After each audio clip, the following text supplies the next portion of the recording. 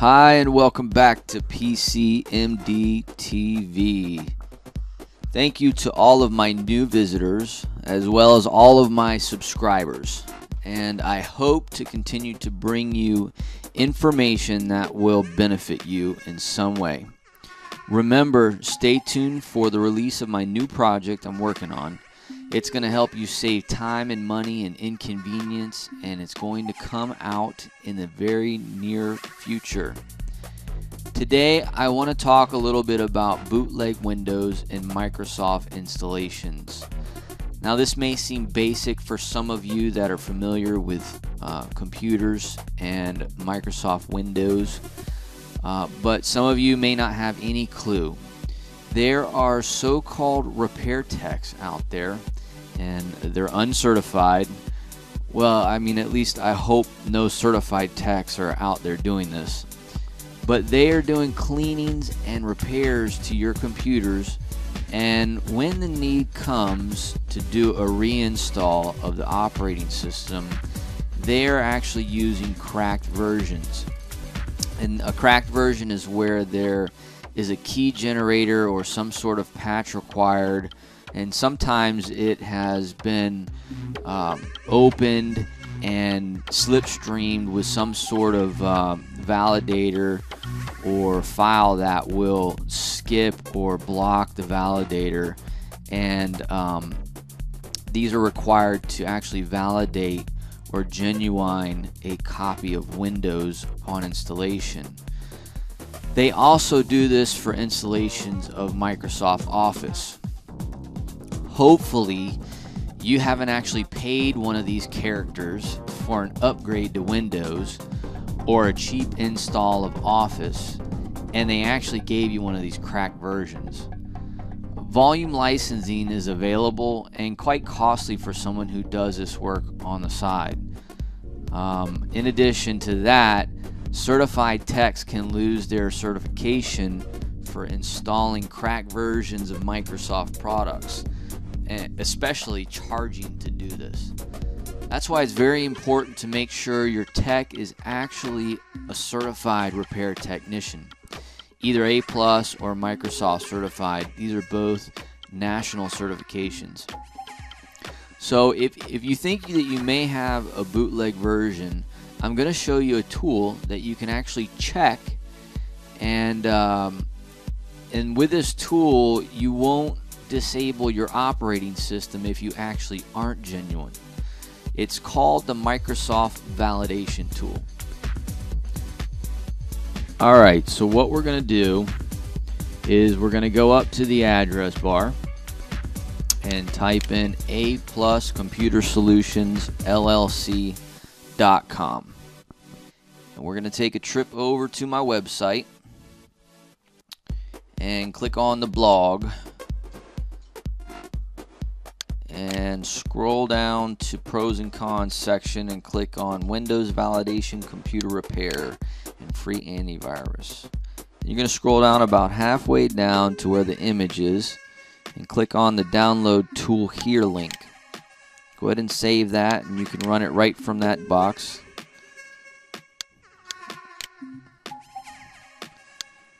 Hit continue on the tool. Let it run a little bit. Going to check out your system. And if you look on the top where it says validation code, you see zero there, that means it's valid. You see there under that the product key and it tells you the product name what you have installed I have Windows 7 Professional then you can check on the Office tab and you'll see that the validation status right there as genuine so you can X all that out. And when you're genuine, now you can go down to receive free Microsoft antivirus, Microsoft Securities Essentials. You can download 32 bit. I actually have 64 bit Windows installed. So I'll install the 64 bit. And let that download. You can go ahead and run it. And this is a very effective free antivirus straight from Microsoft. Um, I use that and Avast on my clients' computers. Um, I usually uninstall the paid versions that they have there. And you'll see here, I actually have Avast already installed in my system. And it says, we recommend that you remove other antivirus and anti-spy programs before continuing with this wizard. I'm going to give you a very good tip here that if you notice that your computer is running slow, okay, and lagging big time, and, and you know that you have two antivirus installed. I don't. It doesn't matter which ones they are. Um, try uninstalling one, and I, and I'm going to tell you, you probably have. Uh, you probably have virus, spyware, malware, or, or even worse than any of that installed on your computer now because what happens when you have two antivirus installed at the same time is they conflict with each other ports get opened and, and uh, scanners get passed through uh, it's a very bad situation to have more than one antivirus installed on your computer so uninstall one only have one on your computer at any time i suggest the free ones do not pay for antivirus anymore. They don't do anything better for you than the free ones. That's free tips there for my uh, subscribers and my friends. Save your money, okay? Now, over here on under pros and cons, you'll see that um, validating is going to help you or making sure that you have a valid copy on your machine is going to help you with future repair efforts.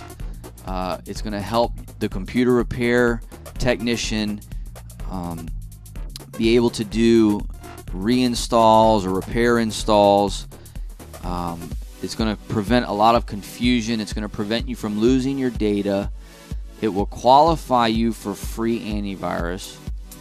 You'll be able to receive regular updates, and with some cracked versions, you're able to do that as well. So don't think just because you're getting regular updates that you don't have a cracked version of Windows. Uh, even Office will allow you to do updates on some cracked versions. Uh, it'll keep your system running smoothly if you have a valid, genuine installation. You can be sure there's no spyware integrated or slipstreamed into the version.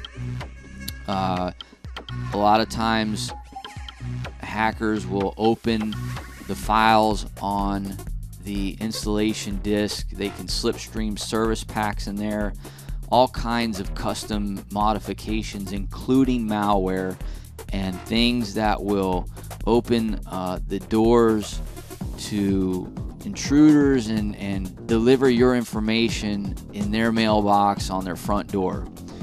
If you have had, uh, or if you find out that you have a bootleg installation, make sure that you contact the last person that worked on your computer, get your money back, and uh, take care of the issue before it becomes a bigger problem than it already may be. Well, again, I appreciate you stopping by. I hope I've added value to your day.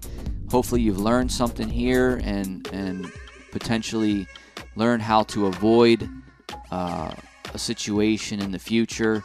These are questions to ask your computer repair tech. I always advocate certified computer repair techs. Uh, people pay good money to go to school to receive education to learn about these things. Um, not everybody can afford to do that. Not everybody has done it.